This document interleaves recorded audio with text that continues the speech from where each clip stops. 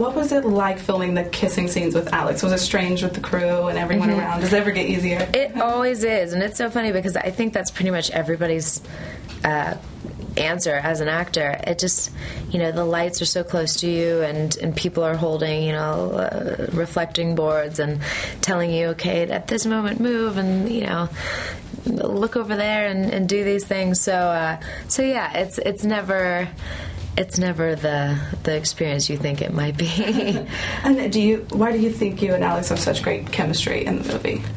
I think that Alex and you know from the moment I met him he was really really excited about the film and I was really excited about the film and we wanted to put the work in it wasn't something where we both thought ah this movie we'll just you know sleep our way through it it you know you see him doing those stunts he trained for for months to do those things so um, when you have two people that are eager to get in and, and see what it brings. It was, you know, it was great. It's not like he read the script and thought this is how I'm going to read every line, and she better, you know, read things the same way. And yeah, it just the ball was being thrown back and forth, so it was cool.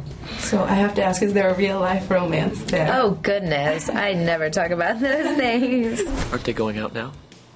I know that's what I hear. I think they are. You know? um, I always tell my actors never pick up on the leading lady. You'll get yourself in trouble.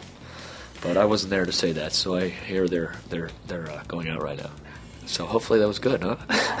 And uh, what was it like being on stage at the Golden Globes and winning the show? What was that feeling like for you?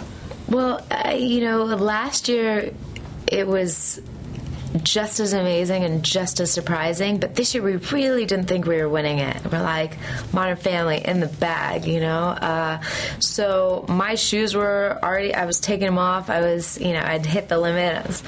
Um, and then it was so funny because uh, last year there was rain, so there was rain-soaked uh, bottom of my dress, and I thought, please don't trip, please don't trip. And then this year, all the girls had the same problem. It was like, wait, my dress is still a little long, and these stairs and all these things. So it's always please don't trip.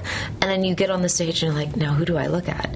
Should I look out? Does that does that feel weird because then I'm looking at somebody or what? So it's just all very hazy and surreal and and yeah, we we were very pleasantly surprised and grateful for it all.